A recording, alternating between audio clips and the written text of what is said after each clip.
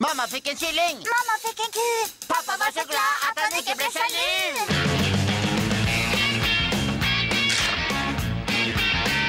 Ku? Kylling. Kukylling.